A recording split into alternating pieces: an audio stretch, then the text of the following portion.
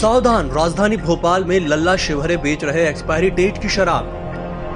जनता की जान से किया जा रहा खिलवाड़। जिम्मेदारों ने साधी चुप्पी। राजधानी भोपाल में आबकारी विभाग की नाक के नीचे शराब माफिया लोगों की जान के साथ खिलवाड़ कर रहे हैं। ठेकेदार लल्ला शिवहरे द्वारा शराब की दुकान पर लोगों को दो महीने पुरानी एक्सपायरी डेट की शराब परोसी जा रही है।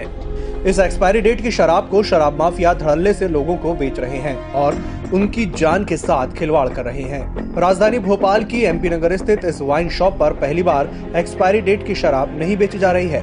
इससे पहले भी पिछले लॉकडाउन के बाद यहाँ पर जमकर लोगों को एक्सपायरी डेट के साथ ऊँचे दामों पर शराब बेची गई।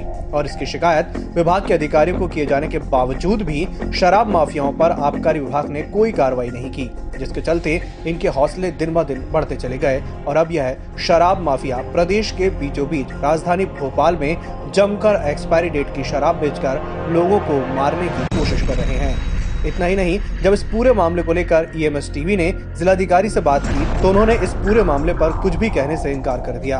ऐसे में ये सवाल उठता है कि अगर एक्सपायरी डेट के शराब पीने से किसी की मौत हो जाती है तो उसके लिए जिम्मेदार कौन होगा और इस पूरे मामले में आबकारी विभाग का दस्ता क्या कर रहा है?